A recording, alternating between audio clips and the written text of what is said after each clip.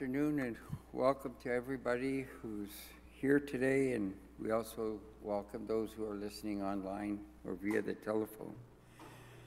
Um, we have no announcements, and the call to worship we are going to use is from Psalm 68, Psalm 68, verse 20.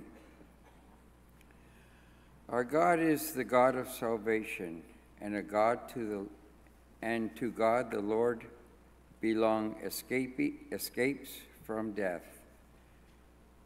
And to God the Lord belong escapes from death.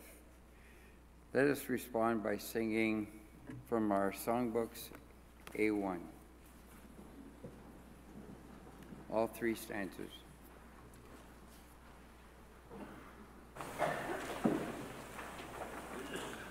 like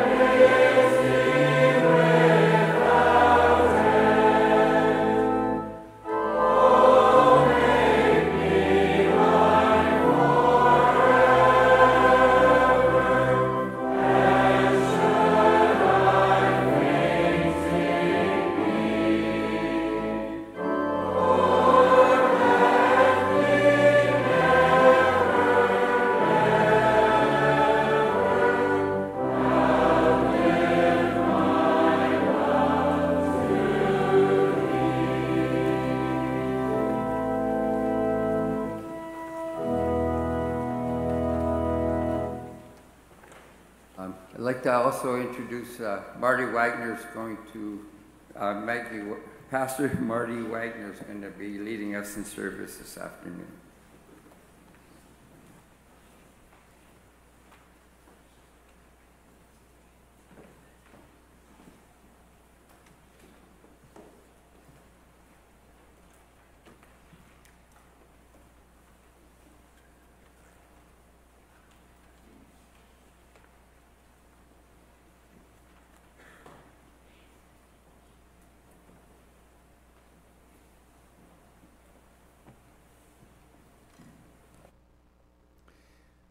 Beloved congregation, as we draw near to the Lord in worship, we do so confessing that our help is in the name of the Lord who has made the heavens and the earth.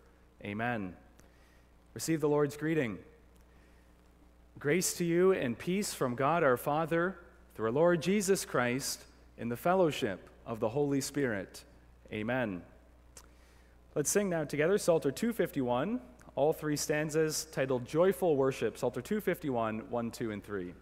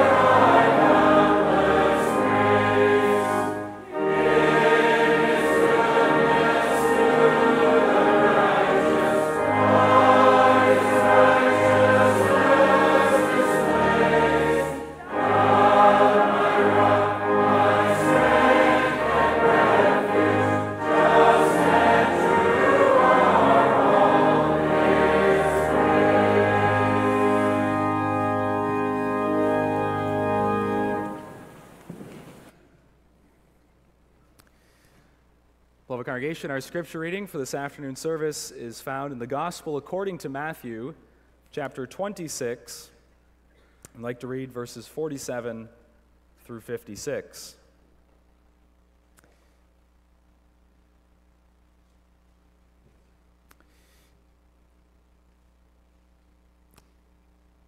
At my church in Zion, uh, we've been working through Matthew 26 uh, this Passion season. And earlier in this chapter, just to set the context for you, you'll find as you're reading this passage uh, the willingness of God and especially of Christ to save sinners. Over and over again, uh, you find that verses 31 through 35, the Father's willingness to strike the shepherd instead of striking the sinner, and the, sheep, uh, the shepherd's willingness to lay down his life for his sheep. Then you get to the prayer in the Garden of Gethsemane in, chap- in verses 36 to 46. And again, there you see the willing Savior, the, the Savior who presses through the most intense uh, threat and fear. He's facing the cup, and yet he's willing to take that cup for his people. And now, here this afternoon, we're focusing on verses 47 through 56, and not so much on Christ, but the warning of Judas. And so that's what we're looking at this afternoon. We'll read verses 47 through 56. And while Jesus was still speaking, behold, Judas, one of the twelve, with a great multitude with swords and clubs, came from the chief priests and elders of the people. Now his betrayer had given them a sign, saying, Whomever I kiss, He is the one, seize him. Immediately he went up to Jesus and said, Greetings, Rabbi, and he kissed him.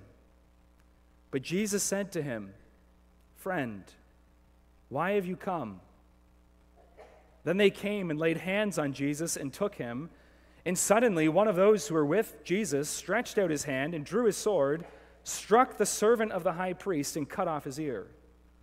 But Jesus said to him, Put your sword in its place, for all who take the sword will perish by the sword. Or do you think that I cannot now pray to my Father, and he will provide me with more than 12 legions of angels?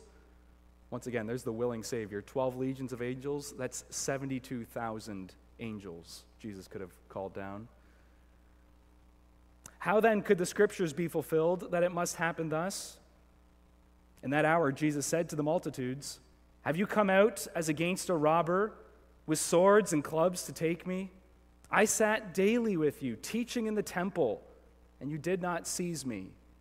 But all this was done that the scriptures of the prophets might be fulfilled. Then all the disciples forsook him and fled. Thus far, the reading of God's holy, infallible, and precious word, may He write its eternal truths upon our hearts. Let's turn to our faithful God now in prayer. Let us pray.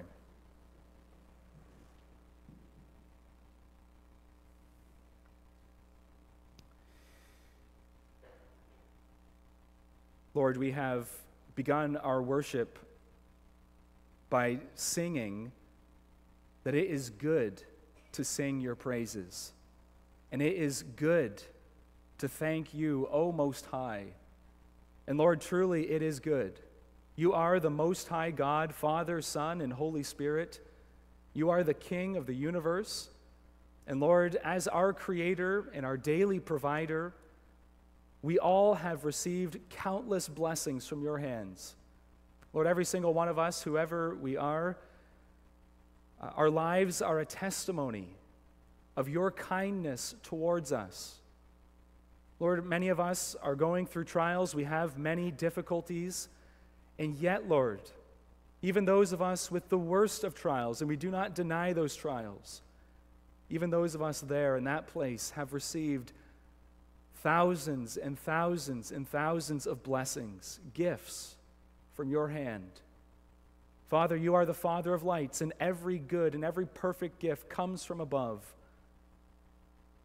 Lord, we often miss the gifts that you give us. We don't think about them. Uh, the gift of life, the gift of breath, uh, the gift of being able to walk or to talk or to think or to move our hands and, and to, to be able to have clothes and food and homes and cars.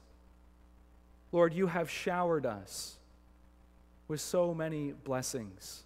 And so it is good, it is right, it is fitting, it is pleasing to give thanks unto you, O Most High. And Lord, for your people, you have given us the greatest of gifts. Father, you have given us your Son. And in giving us your Son, you've given us eternal life. Already now, we have eternal life through your Spirit. For this is eternal life, to know you, the one true God, and Jesus Christ, whom you have sent. And Father, we, we know you by your Spirit. We have fellowship with you through the Son. And this is our joy this afternoon that we can draw near unto you, a good Father. And we can stand accepted in the beloved before you. And we can worship you in spirit and in truth. And we can rejoice in all the privileges that you have given to your people. And Lord, what privileges those are. As we sung, you have filled our hearts with gladness. Lord, only the Christian is the one who has true joy. And yet, Lord, even as your people, so often we live far beneath our privileges. Uh, we set Christ out of mind. We set what he has done for us out of mind. And we live often as if we're orphans who are forsaken in this world. We live as if we don't have a good Father in heaven. And Lord, we do this to your dishonor and to our own pain.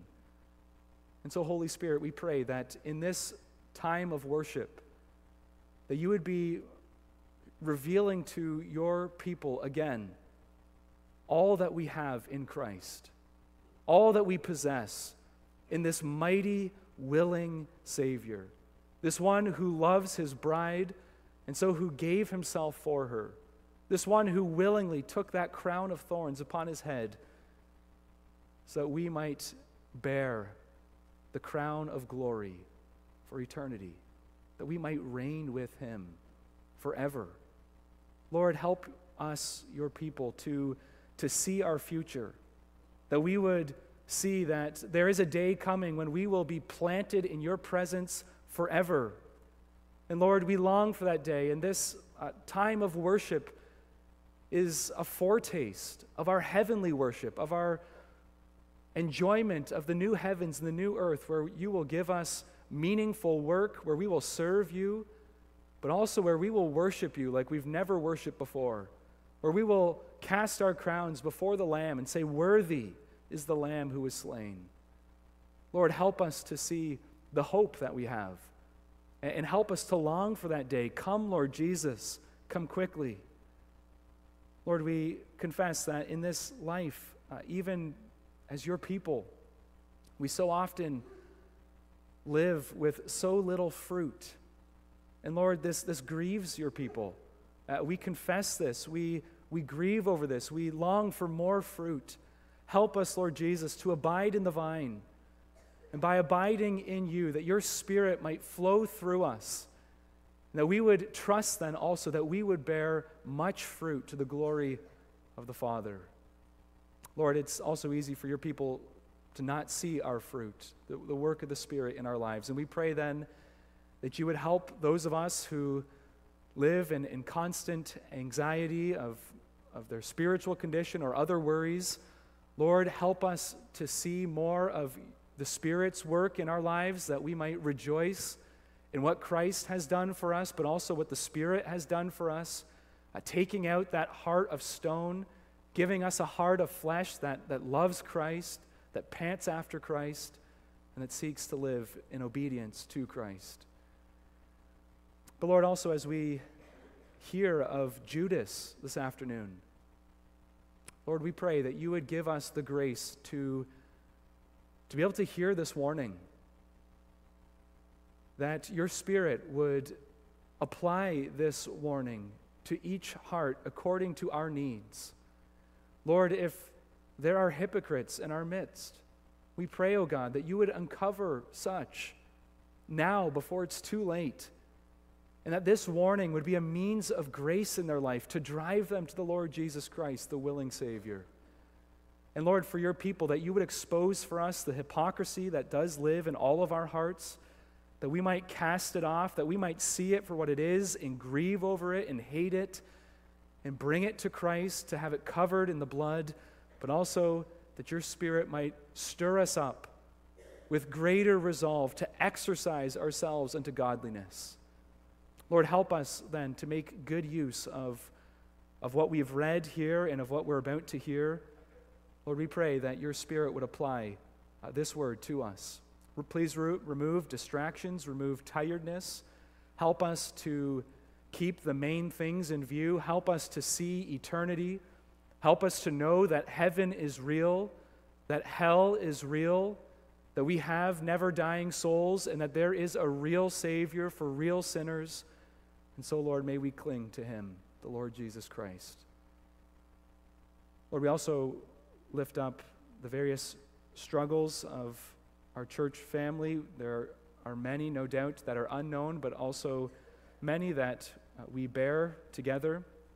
Lord, in particular, we think of uh, Mr. Hans Terlau as he was uh, hospitalized yesterday, brought to West Lincoln, and um, Lord, we pray that you would care for him as he has viral pneumonia and he's been disoriented in the last day. Lord, please uh, provide for his needs.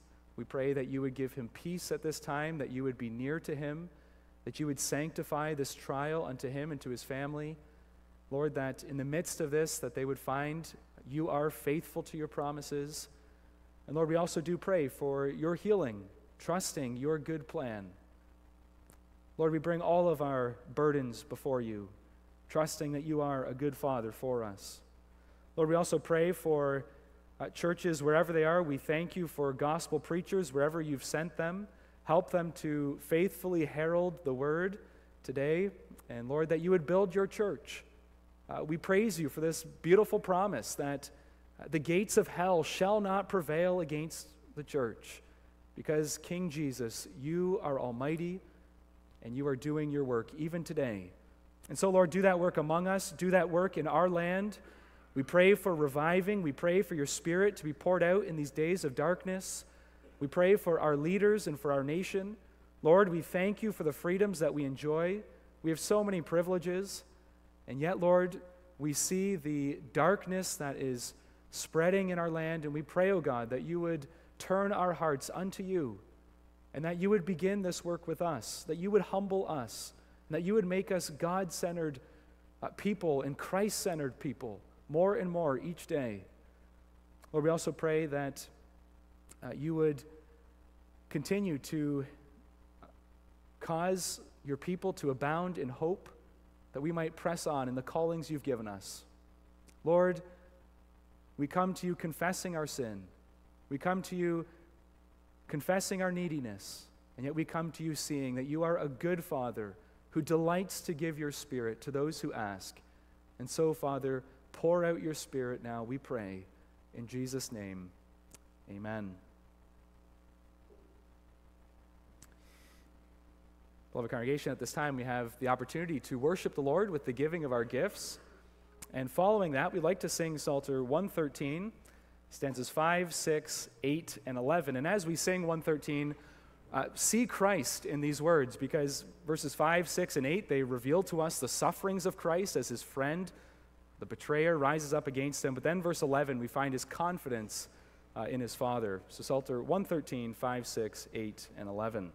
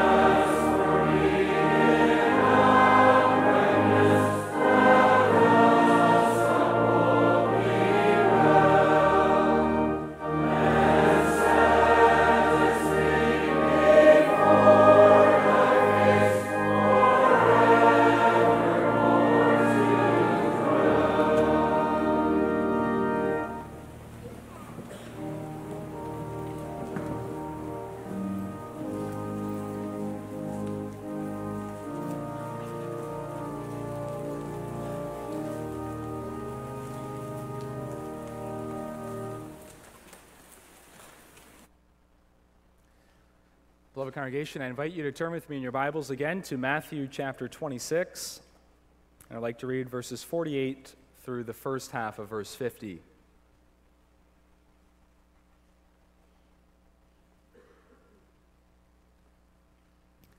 Matthew 26, verses 48 through 50.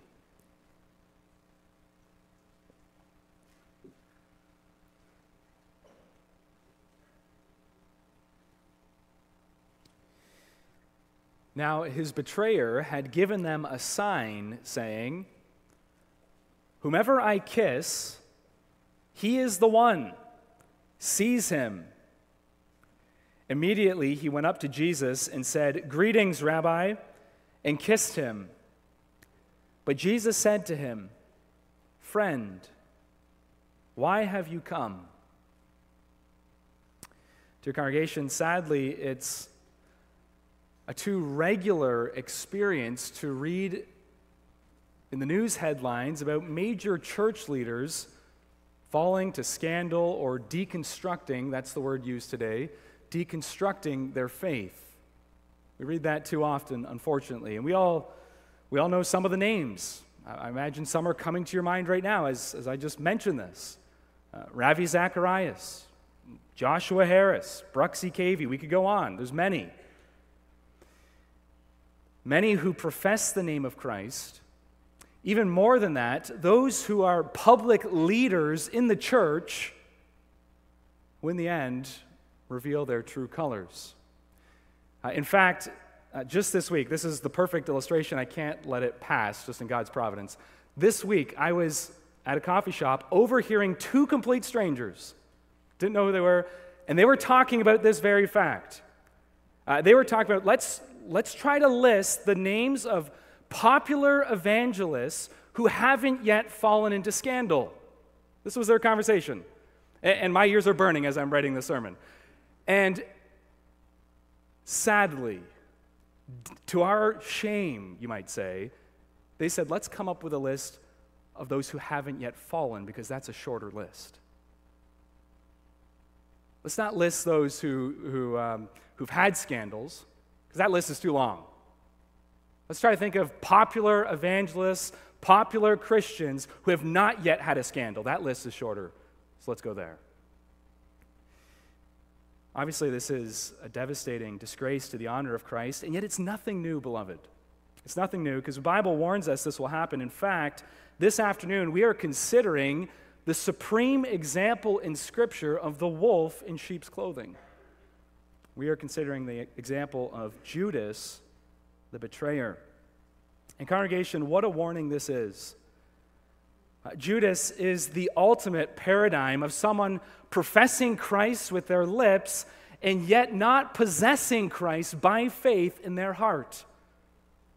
Uh, Judas is a warning of how close someone can be to the kingdom of heaven and yet still go to an eternal hell. Judas is a classic example of a hypocrite. Now, children, that word hypocrite, maybe you've, you know this already, but in the Greek, hypocrite is just the word that's used for actor. So if you're talking about a play back in Jesus' time, there would be actors involved in that play, and they'd be the hypocrites. They're the actors. It's just a word for actor. And Jesus, though, takes that word and says, This is what many do in religion.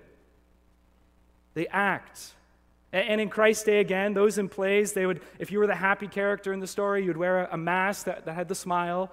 And if you're the, the sad character in the story, you would put on a mask with a frown. And Jesus is saying, this is, this is what the Pharisees are, this is what Judas is someone who's wearing a mask. And their whole life is about one big show. And so, congregation, this is a warning we must consider for ourselves Uh, Jesus is very plain in his teaching. As long as the church is in this world, as long as the visible church is present in this world, it will be made up of wheat and tares. That is, true professors and false professors. And so, which one are we? That's an important question. Which one are we? The main point of this sermon is to warn us of this one grave reality, and it's this we can go through all of the outward motions of religion.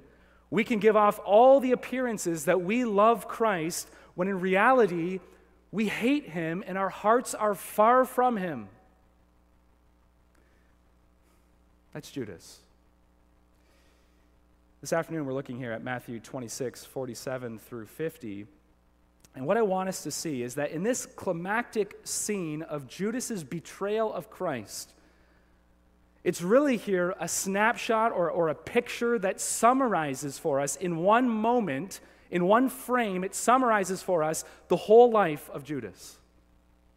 Because here we find, on one hand, Judas kissing Christ. He's, he's showing outward affection, you might say, for this Christ. And yet, at the same time, behind that kiss, motivating that kiss, is hatred in his heart. He wants to kill him. And that's Judas's life. And so that's what we want to consider this afternoon. The betrayer's kiss, we have two points. First of all, kissing Christ, and secondly, killing Christ. Firstly, kissing Christ. Notice verse 47. And while Jesus was still speaking, behold, Judas, one of the twelve, with a great multitude with swords and clubs, came from the chief priests and the elders of the people. And so here we meet Judas. And, and what we're doing here is we're asking, well, who is this man? Who is this betrayer? Let's, let's see some of the outward appearances of love for Christ in his life. We can start with his name, Judas. It's, it's a good Jewish name, and although if we look around, I don't think there's any Judases here. It's not a name we give to our children for good reason. But in, in his day, it was a popular name. It's, it's just Judah in Greek. It's the Greek form of Judah, and Judah was one of the tribes of Israel. And so this reminds us Judah, Judas was a covenant child. He grew up in the covenant community, and his parents gave him a good name, a name that means God be thanked or God be praised. Elsewhere in the Gospels, he's known as Judas Iscariot. Now, Iscariot, that comes from two Hebrew words being put together uh, Ish, which means man in Hebrew, and Kerioth, which was a small town that was south of Jerusalem. And so you put it together. He's a man of, Jerus- uh, of Kerioth, just like Jesus of Nazareth, Nazareth, Judas Iscariot, a man from Kerioth. And so it's quite striking then, what we notice here about Judas is that the other 11 disciples, they all came from the despised northern regions of Galilee. And this one disciple, well, at least we get the hints that he came from the south, uh, closer to Jerusalem, in the place where you might say he's, he's more privileged. He's closer to the heart and center of religion in his day.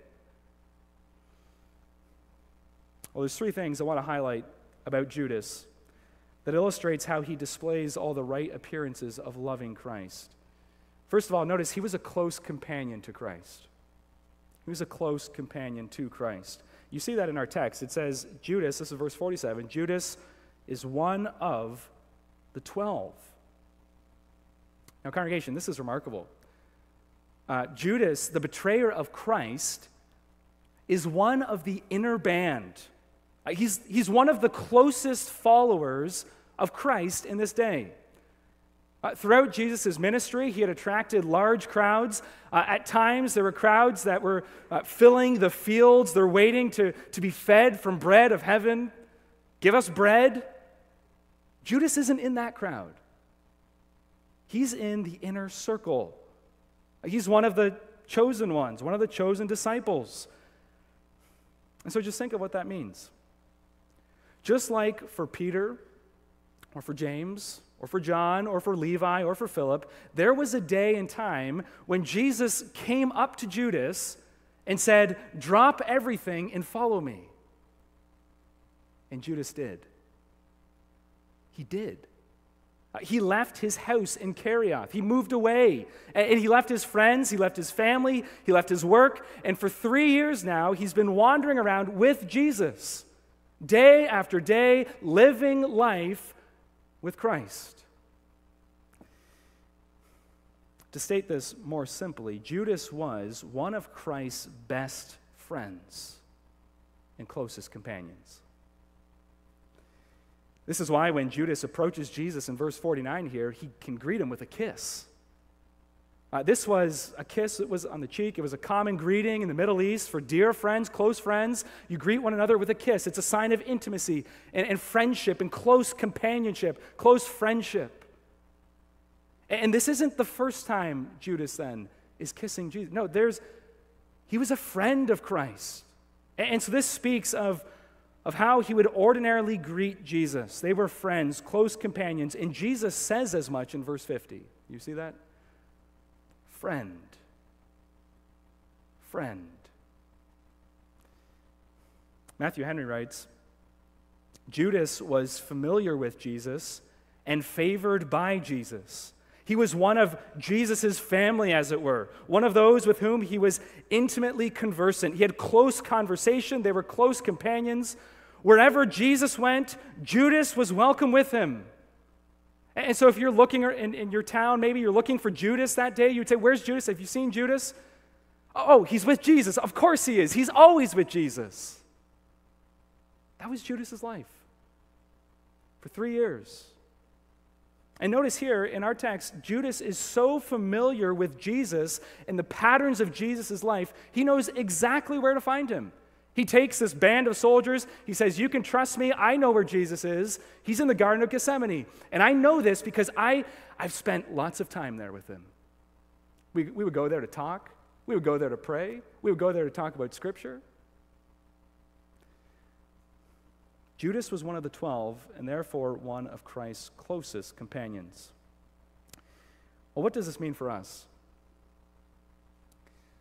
This tells us that we can be within close proximity to Christ and not have Christ. We can always be with Jesus, as it were, and yet not actually have Jesus. We can come to, to church where Jesus is preached and, and the means of grace are enjoyed, and how the Spirit loves to use the means of grace to bring Christ home to our souls. And yet you can be here where Jesus is and yet never come to Jesus. We can go to Bible studies where Jesus is talked about and yet not have Jesus. We can give off appearances of going to Jesus in prayer and yet not actually be speaking to Jesus in prayer. But it actually gets more striking for us as we look at Judas. He wasn't only a close companion of Christ, but he was also, secondly, a powerful preacher. He was a powerful preacher. Notice Matthew in our text intentionally reminds us that Judas is one of the 12. And earlier in his gospel, he's introduced us to these 12. If you uh, turn with me to Matthew chapter 10, just go back a few pages to Matthew 10.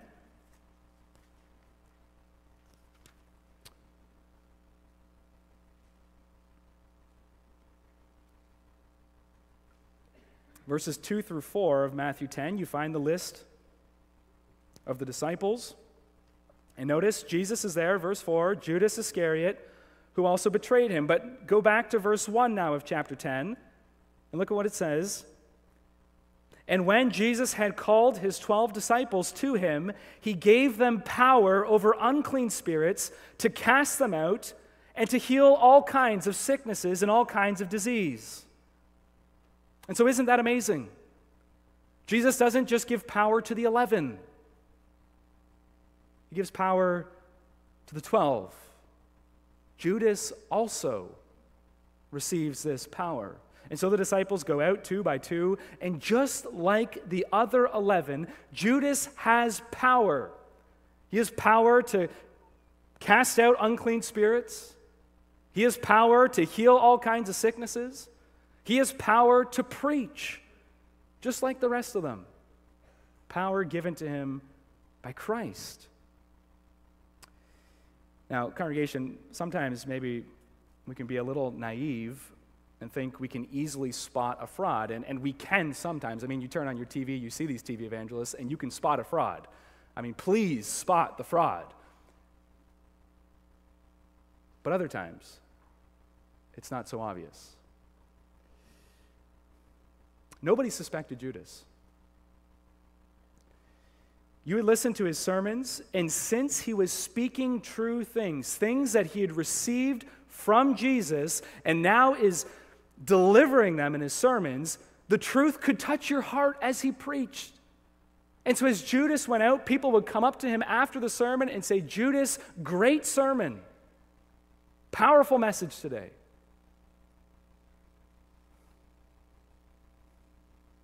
And so, congregation, here's the point for us it's possible to do powerful things in Christ's name and not have Christ.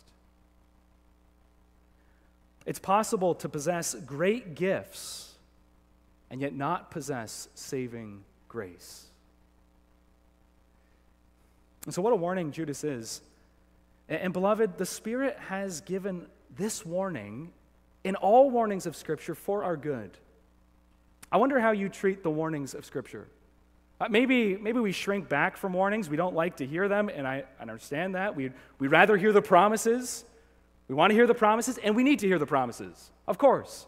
That's right, that's good. The Spirit has given us the promises, which all Jesus fills them. Yes and amen. They're complete in Him. So the promises are given for our good. But, beloved, the warnings are given for our good as well. And I wonder have you learned to make use of the warnings? Whether it's the warning of a Bible text, or maybe the warning of an example that you see lived out by someone in your life? Are you making use of the warnings that God gives you? I know for myself, I have one or two former preachers that are forever lodged in my mind. I can't forget them, and I hope I won't forget them, not because that they have been faithful to Christ, but because of the opposite. They've made shipwreck of their faith. And as I think of these men, and one in particular, uh, one who, who could speak so freely of Christ and, and one who ministered for Christ, and yet you look at the way he ended his ministry in utter shambles, it makes me shudder. And it should, because it's saying, guard your heart. Friend, are you using the warnings that God places in your life to help you guard your heart? to keep a close watch, to be alert. Judas is such a warning for us. But not only was he a close companion and a powerful preacher, but third, Judas was also a trusted treasurer. Do you notice that? He's, he's the trusted treasurer. He's not just one of the disciples, he is that. But John 12 amazingly tells us Judas held the bag. Do you know what that means? That means that as the other disciples carried out their ministry, they're going through ministry and they're starting to get collections and hey, this is how we, you know, the money comes in, that gives us something to eat, that gives us clothes to wear, that gives us money to give to the poor. And so this is important. We need someone we can trust to, to carry the bag. We need someone who's responsible, someone who's respected, and in their mind, Judas. And so they nominate him. Judas is the trusted treasurer. And this tells us again we can hold positions in Christ's church and yet not have Christ. It's possible. We can have respect in the eyes of men, the appearances can all be good, and yet, beloved, we can be a fraud. We can be like a chameleon that changes colors just to blend in. We can, we can learn all of the right religious language, all the right religious behavior, and so fit in in such a way that no one else suspects us. Charles, Charles Spurgeon once said, The hypocrite is very often an exceedingly neat imitation of the Christian. To the common observer, he is so good a counterfeit that he entirely escapes suspicion. Friend, is that you? Are you a Christian chameleon? One who just tries to, to blend in? Are you like Judas, uh, kissing Jesus, as it were, giving outward signs of affection for him, and yet in reality, there's no love? No love. Are you playing the game of religion? Are you wearing the mask? Beloved friend, when will the mask come off? Will it be the judgment day? You stand before the throne. Take it off today. That's the Spirit's purpose with bringing us this passage this warning from the life of Judas. See what's at stake and examine yourself. And if this is you, don't stay in that place. Well, first of all, that's kissing Christ, but let's go to our second point killing Christ. Killing Christ. Notice verse 48 of Matthew 26. Now, his betrayer had given them, that's the great multitude with all their swords and clubs, he had given them a sign saying, Whomever I kiss, he is the one, seize him. And immediately he went up to Jesus and said, Greetings, Rabbi, and he kissed him. So, congregation, here we see beyond the surface to the core. Here we're seeing the reality of who Judas was. Uh, so far, we've highlighted how a hypocrite can blend in to man's eye, it's, it's hard to discern between the wheat and the tares. And just as a, as a practical aside, we aren't called to live with this hyper suspicion about everyone else around us. That's not the point of this. No, uh, we, we give one another, we extend to one another the judgment of charity uh, on the basis of their profession of faith, on the basis of their life, and yet we submit to church discipline when necessary. So this isn't calling us to be hyper suspicious, can't trust anyone, can't trust our leaders because there's a Judas. It's not calling for that. This is directed at our hearts, each one of us personally. Is it I? So the hypocrite can blend in because we see the externals, but now in this point, we want to see Judas from God's perspective. God looks on the heart, He knows the reality. And so, here in this point, I want to highlight this is our final point. I want to highlight three realities about Judas that led him on this trajectory of killing Christ. And what, what we're asking here really is what's wrong with Judas? What's gone wrong in his life? And the first thing, Judas's greatest problem is his unchanged heart. His unchanged heart. That's, that's the crux of the matter. Externally, here was a man who gave off many outward appearances of being a Christian, and yet at his core, here was someone who was diametrically opposed to Christ and therefore the furthest thing from being a true believer.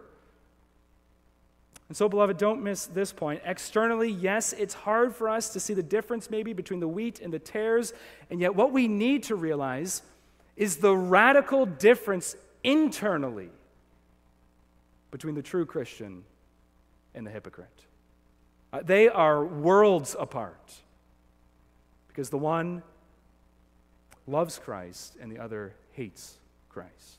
Listen to Jesus' blunt statement in John 6. We'll be moving around the Bible a little bit in this second point, so if you want to follow along, John 6, verse 70.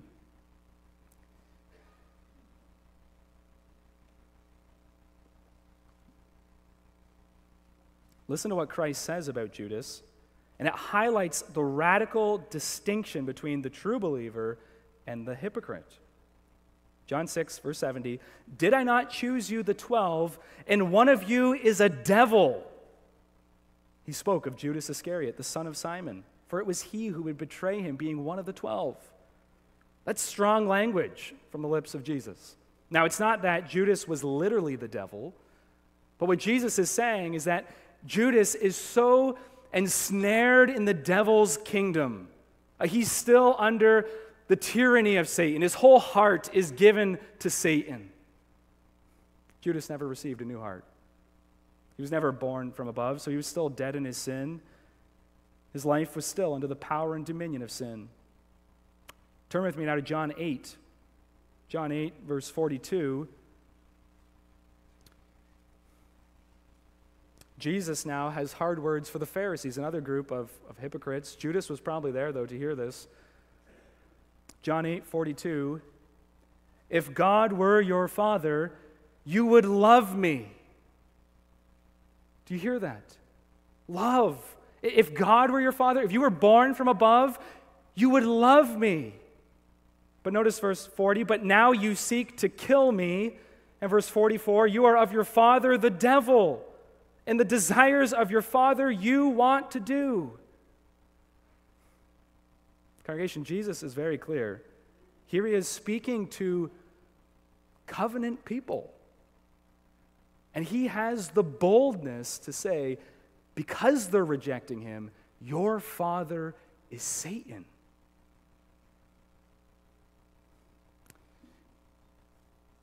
This is how we come into the world in Adam. Left to ourselves, our heart is hard. Satan is our father. Ephesians 2 tells us that as well, verses 1 through 3. And here's Judas, and he remained in that condition. Here is a religious man with an unchanged heart. And friends, how easy it is to be one of those. Jonathan Edwards writes this We can be sober, orderly, and a good sort of people, and yet be as dry as bones. And there he's putting the finger on the problem. The problem is deadness of heart. And the hypocrite never sees the true depth of their problem. Uh, they think, I just need to rearrange a few things in my life. This was the Pharisee. One of the Pharisees' problems was that they kept pulling out the whitewash and putting it on the sepulchre. And Jesus says, No, we don't need whitewash. We need life. There's bones in here, it's dead. The hypocrite doesn't see it. I can fix this, I can manage this, and yet all along they're just rearranging the bones. We need life. We need supernatural, spiritual life. Judas didn't have that spirit worked root in his life, and so all of the fruit was rotten. And actually, as we take a closer look, if we examine Judas's life a little closer, it, this becomes more and more evident. Judas's heart was occupied by idols. And in particular, he was enslaved to money.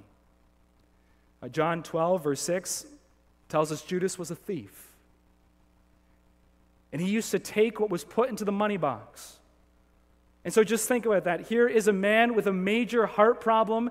Uh, he is ruled by money and greed and envy and so it leads to this double life. Yes, trusted treasure by day, thief by night. When others are looking, he's a Christ's close companion. When yet, yet, when eyes are turned away, he's plotting, how can I kill this Christ? That's the first thing. The problem is the unchanged heart. But second, notice the unheeded warnings the unheeded warnings. And here I want to illustrate how hard Judas's heart had become. Just think, Judas sat for three years under the best ministry in the world. He heard Jesus, the Son of God, preach sermon after sermon after sermon with authority. And yet he refused to believe. If you go back to John 6, verse 64,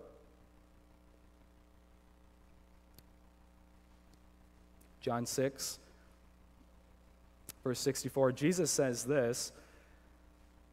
First, verse 63 The words that I speak to you are spirit and they are life. Verse 64 But there are some of you who do not believe. For Jesus knew from the beginning who they were who did not believe and who would betray him. And so, beloved, see these words. In John 6, in the bigger context, Jesus is abundantly clear. Salvation is 100% of God. We need it to be that way if there's going to be any life. If God doesn't do the work, none are saved. And yet, notice here, Jesus is equally clear. Judas is responsible for his unbelief. Do you see that? My words are spirit, they are life. There are some of you who do not believe. Judas, you just won't believe. You don't want to believe. You, you won't listen and, and embrace this. So we shouldn't feel sorry for Judas as if he's some sort of innocent man, some sort of innocent pawn. No, he was a wicked man whose heart was set on evil. He wouldn't listen to the word, the one who is the word of God. Now, to illustrate this, just think of all of his exercises of unbelief. Jesus heard this, or Judas heard the Sermon on the Mount, probably multiple times because Jesus was a traveling evangelist. And the Sermon on the Mount, Matthew 5 through 7, is these are the main themes that Jesus is preaching and preaching and preaching as he goes from place to place. And so just think with me through the Sermon of the Mount. Judas heard Christ's description of a true believer. Blessed are the poor in spirit, not proud, but the spiritually broken ones, for theirs is the kingdom of heaven. Blessed are those who mourn, who grieve over sin, for they shall be comforted. Blessed are those who hunger and thirst for righteousness, for they shall be filled. Judas heard Christ's warnings of a, of a hypocrite. Matthew 6, verse 1 Take heed that you do not do your charitable deeds before men to be seen by them. Otherwise, you have no reward from your Father in heaven. Judas, take heed. Don't let your religion just be a show. Judas heard Christ's warnings about being a slave to money. Matthew 6 21. Judas, where your treasure is, there your heart will be also. No one can serve two masters, for either he will hate the one and love the other, or else he'll be loyal to the one and despise the other. Judas, you cannot serve God and money. Judas heard Christ's warnings about, a false, about false prophets, Matthew 7 15. Beware of false prophets who come to you in sheep's clothing, but inwardly are ravenous wolves. You will know them by their fruits. Judas, consider the fruits of your life. Judas heard Christ's warning about false professors, Matthew 7 21. Not everyone who says to me, Lord, Lord, shall enter the kingdom of heaven but he who does the will of my Father in heaven. Many will say to me on that day, Lord, Lord, have we not prophesied in your name, cast out demons in your name, done many wonders in your name? Judas, that's you. And then I will declare to them, I never knew you. Depart from me, you who practice lawlessness, you who are in the process of killing me, the Son of righteousness. Congregation, Judas heard Jesus teach on all these things, and yet he left the warnings unheeded. Friend, are you doing the same?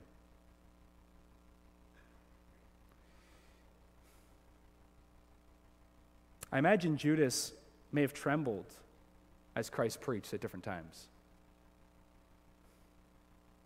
But to tremble is not enough. James 2:19, the demons tremble. Judas trembled, but he never turned from his hypocrisy. And beloved, the true Christian, by the Spirit's grace, learns to turn and to turn and to turn again from their hypocrisy. The Christian, the true Christian, agrees with Jesus Lord, this is me. And if you're a believer here this afternoon, I imagine you're saying that, Lord, this is me. This hurts. This is exposing me. And yet, beloved, that's because we all have Judas like hypocrisy tendencies in us. And yet, here's the difference Judas wouldn't own up to it. And the believer does. The believer says, Jesus, I agree with you. This is me. I'm sorry for who, you, for who I am. I hate what I've done. And so, Jesus, here I come with my hypocrisy. Here I come with my sham religion, and I renounce it. Beloved, this is how a warning message can actually lead to greater confidence in Christ. Because as you start to be exposed, you also see, I, I hate what I've done to Jesus. I hate how I deny him. I hate my hypocrisy, and I'm confessing it. And we don't do that of ourselves. That's the Spirit's blessed work in us. When we take it to Christ, we say, Jesus, you are a sufficient Savior for me. And so there's genuine repentance in the believer. We're grieved over our own hypocrisy. We're saying, Lord, save me. Lord, wash me. Lord, forgive me. Lord, change me. And if that's us today, then what assurance we can have because Jesus is there saying, I will be clean. I love to save such. I've died for such. Come to me with your sin. I love to save Peter's, Peter who flees from me, Peter who denies me. I love to restore him. I love to save Thomas's who are doubting, Oh, I, I love to restore him. I love to give him greater assurance that he is mine. Come to me with your hypocrisy, and I'll, I will declare my love to you. So, Christian, let this warning sermon lead you back to Christ. Let this warning sermon lead you to turn from your sin and to strengthen your confidence in Him. Unfortunately, we don't see that in Judas. He never dealt with his hypocrisy. And, beloved, how many good intentions are snuffed out due to putting something off for a more convenient time? I can repent later. I can deal with it later. I, can, I'm, I will get old. I can deal with it then. As if we have that confidence. And as if, as if we know how to repent. If you haven't repented your whole life, why do you think you'll be able to do it on your deathbed? Today. Today is the day of salvation. Judas never considered his soul, and so his heart got harder until he was easy pickings for Satan. And this is the final thing I want to show us here the unguarded life. The unguarded life. What led Judas to commit the most evil crime in the universe of rejecting the Messiah? Well, John 13, if you go to John 13, has this striking statement. Verse 2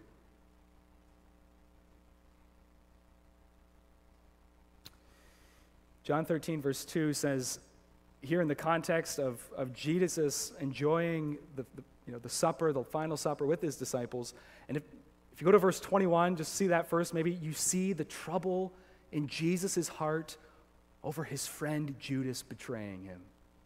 Isn't that amazing love? It troubled him. And yet, look at verse 2. We have this striking statement. The devil having already put it into the heart of Judas Iscariot to betray him.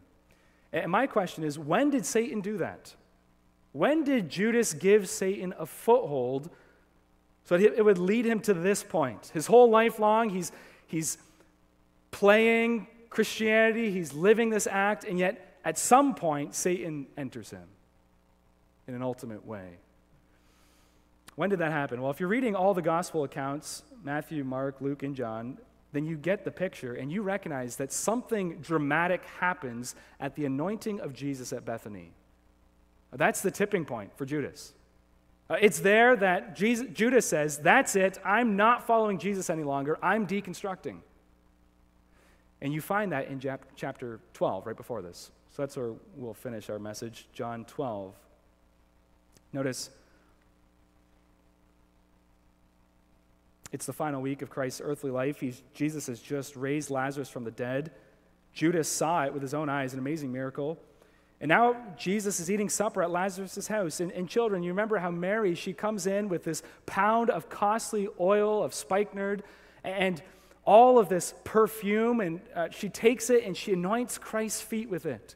Uh, and she wipes his feet with her hair. And, and Jesus tells us that Mary does this for his burial. Jesus is telling us that Mary sees something that, that the rest of the disciples have missed, that her Savior is a dying Savior for her. He's going to die. And so she wants to anoint him before he does that act. And so, out of love, she pours out an abundance of costly perfume on him. And Jesus is watching, or Judas is watching this outpouring of love, and he can't stand it. You see that, verse 4? Judas sees it happening and he exclaims, Why was this fragrant oil not sold for 300 denarii and given to the poor? And so, what a hypocrite. Do you hear the religious language? Think about the poor. Sounds so good. And it's 300 denarii. That, that's a huge amount of money. Uh, it's an average yearly salary. We could take 2023 and pour it on Jesus' feet. That's what Mary's doing. Whole year on Jesus' feet. Whole salary. Judas sees it and he can't stand it. Verse 6 not because he cared about the poor, but he cared about himself. He was a thief. And so just think about what Judas is actually saying here as he objects. Don't waste this costly perfume on Jesus. he's not worth it. See where his heart is? Money is better than the Messiah. Money is better than this man. Just think about it. Ju- Judas values the perfume at 300 denarii. He knows how much money this is. He, he sees that evaluation, and yet, in our text, Matthew 26, he sold Jesus for 30 pieces of silver. This perfume is way more precious to Judas than Jesus. Jesus is the price of a common slave. Just, just get rid of him. I don't need him anymore. And doesn't that show you the true nature of his heart? He's never come under the blessed lordship of Christ. He's never submitted himself before his master. He never stood with his hand over his mouth, as it were, guilty before God and saying, Jesus, I need you as my Savior. His whole life, he was trying to manipulate his master, just trying to get Jesus under his control. And now that Jesus isn't doing the messianic thing that he wanted, like getting rid of the Romans, I'm going to trade him in. I'm going to sell him off for the price of a slave. And, beloved, this is the final mark, you might say, of the hypocrite that we've been pressing all along. The hypocrite has no love for Christ. This is their evaluation. There can be lots of religion, lots of activity, lots of words, but no love for Christ. And so, friends, there's the test for us. What do you think of Christ? Do you love this one? And maybe you say, Well, I love him. I don't love him enough. I wish I loved him more. I wish there was more love in my heart. And friend, if you're saying that, that tells you you've seen something of his worth because you're recognizing your love for him is pitiful and he deserves more. Praise God, the Spirit is here and he's opened your eyes to the glory of Christ. Judas has no love, so he goes to the garden. He looks Jesus in the face. He kisses him in order to kill him. That's how hardened he was. He could get that close with such evil intentions. And Jesus asks, Friend, why are you here? That's the closing question. Friend, why are you here? Why have you come to church this afternoon? Why are you here? What's your religion? What's it all about? Why are you here? Is, are you here because you love this Savior and you want to glorify Him? He's worthy of my worship. It's good to praise Him. I want to see more of Him. I need Him. Then praise God. The Spirit has worked in your life. And if that's not why you're here, if there's any other reason for why you're here, then come to the Savior today and find that He is a willing Savior. Amen.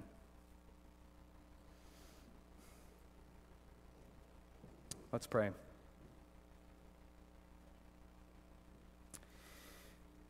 Lord Jesus, how you suffered for sinners. That even one of your closest companions would turn on you and you would take this. Eternal Son of God, you left heaven, the glories of heaven, to be the man of sorrows. And here we've seen a glimpse of your sorrows that you willingly took upon yourself to save sinners. And Lord Jesus, we praise you for your Spirit who makes sinners alive, and that there are many here in this place who rejoice in you, Lord Jesus, who put no confidence in the flesh, and all of this because of the Spirit's grace. And Lord, help us then to know that we have a Savior who holds us fast to the very end. And Lord, we pray that where you've been convicting us, that we would confess our sin, that we would come to you for covering, that we would find that you are faithful to your promises, that you truly forgive. And Lord, for any Judases who may be listening, that they would turn, that they would take off the mask before it's too late, and that they would discover what true life is in Christ. Lord, forgive us for our sins and worship. Be with us in the rest of this day. We thank you for it. And we pray that you would give us uh, strength for the week ahead. And may your word uh, guide us. And may the love of Christ constrain us to live more for your glory. Amen.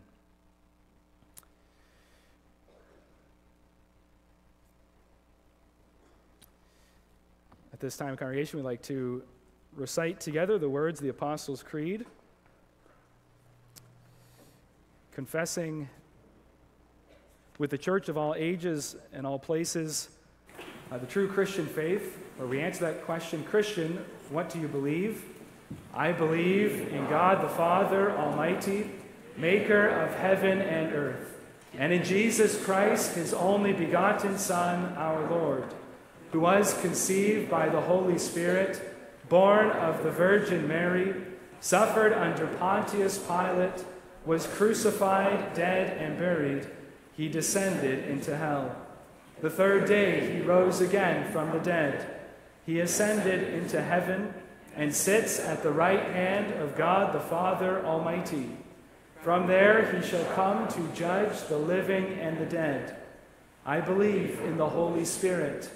I believe in Holy Catholic Church, the communion of saints, the forgiveness of sins, the resurrection of the body, and the life everlasting. Amen. Our closing Psalter is Psalter 426, 1 and 5. Here, singing of the Lord's sovereign grace, grace that truly saves.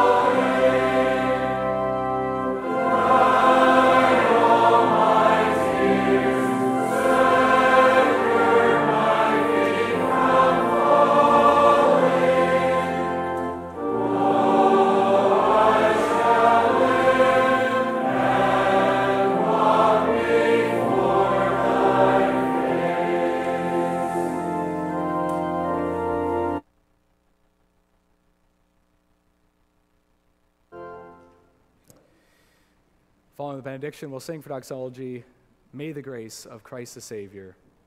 Receive the Lord's blessing and go to your homes and into this week in peace.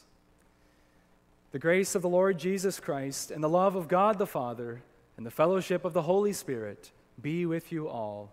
Amen.